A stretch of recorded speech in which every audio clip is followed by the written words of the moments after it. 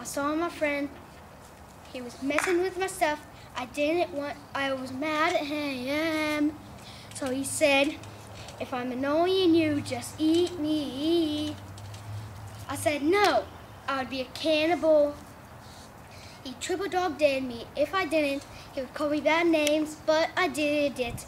But after I did, I need to say something about it.